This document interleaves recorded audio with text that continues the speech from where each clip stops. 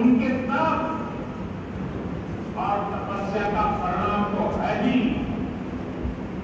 ये नए भारत के नए जोश और नए आत्मविश्वास का भी पैमाना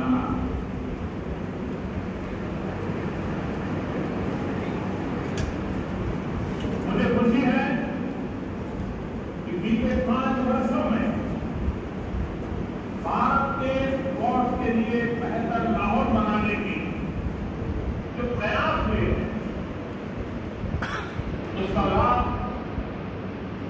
आज हमें दिखाई दे रहा है।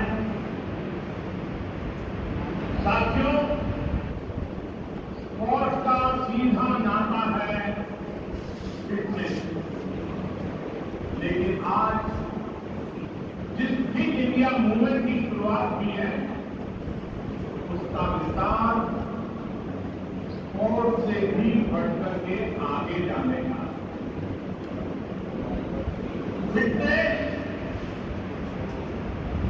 एक शब्द तो नहीं है। बल्कि स्वस्थ और समृद्ध जीवन की एक ज़रूरी शब्द है।